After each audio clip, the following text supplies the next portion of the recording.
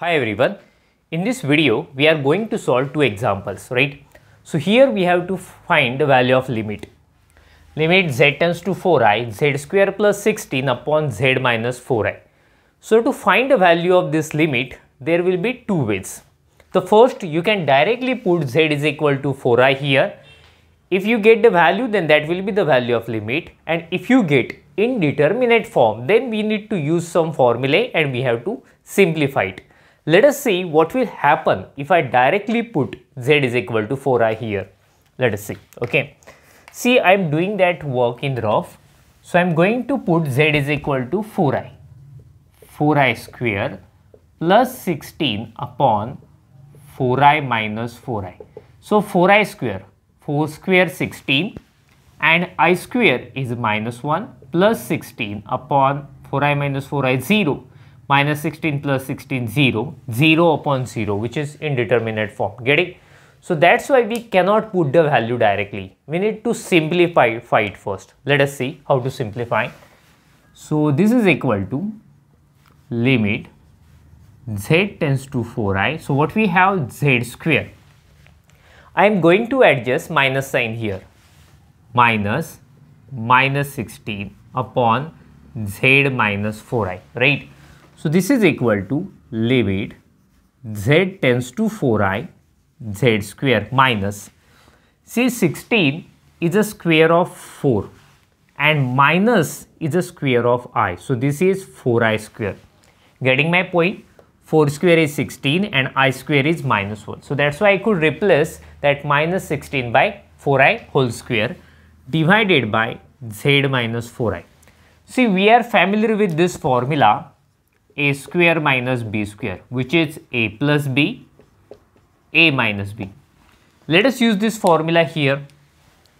Then our numerator will be z tends to 4i.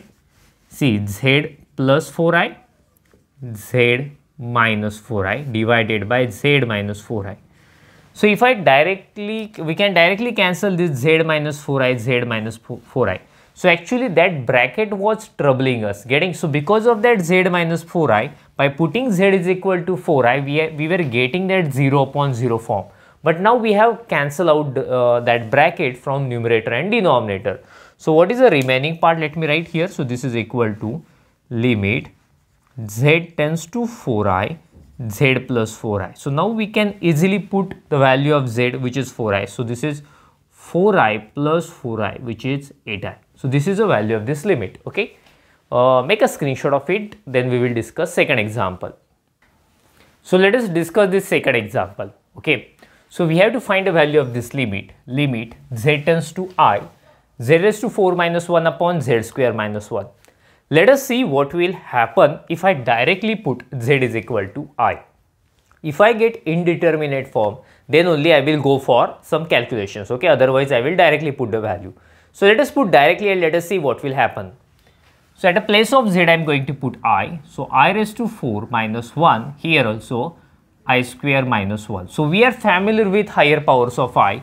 We have already seen in our previous videos the value of i is minus 1. Its square is uh, root minus 1 this is and square is minus 1. i cube will be i square into i right. So i square is minus 1 so this is minus i and i raised to 4 means basically i square into i square. So i square is minus 1 and this i square is minus 1 minus minus plus 1. So in this way we got the uh, values of higher powers of i. Let us put those values here. i raised to 4 is 1 right minus 1 and i square is minus 1. So I should write minus 1 minus 1. 1 minus 1 0 here minus 2 0 upon minus 2 is 0. So 0 is a required uh, limiting value. Okay? So make a screenshot of it then we will stop. Thank you. See you